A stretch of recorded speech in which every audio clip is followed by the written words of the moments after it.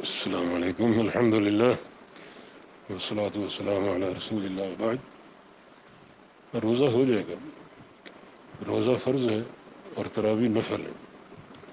नबी इस्लाम की हदीस है जाल्ला सयाम फ़रीदा बक़ियाम लही ततवा अल्लाह ताला ने रमज़ान के रोज़े फ़र्ज़ किए हैं और रातों का क़याम और तरावी नफल है। अगर ये पढ़ेंगे तो बहुत ही मुस्तहसन और मुस्तहब है। बड़ा इसका अजर है। सबका सारे गुनाहों की, बख्शिश की खुशखबरी है। और अगर ना पढ़ें तो रोज़ा बारत हो जाएगा। फिर इन तरावी को पढ़ने का एक फ़ायदा ये भी है कि अगर कोई कमी बेशी रह गई रोज़े में तो अल्लाह ताला तरावी जो नफल हैं, उनके ज़रिए उस कमी को पूरा कर देगा। उसकी तलाफ़ी हो जाएगी। वरना तलाफ़ी के लिए कोई चीज़ नहीं होगी। इसमें भी इंसान किसी मुश्किल का शिकार हो सकता है।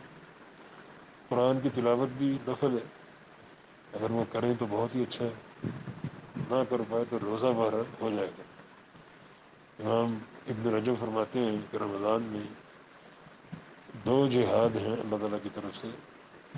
एक दिन का और एक रात का।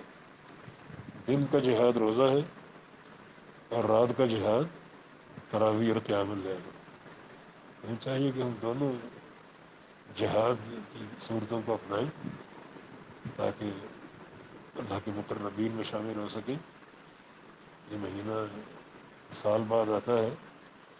यकीन उसकी कदर करनी चाहिए और एक एक लाजे का अहतमाम करना चाहिए। अल्लाह पाक तोफ़ी दे। वरहमल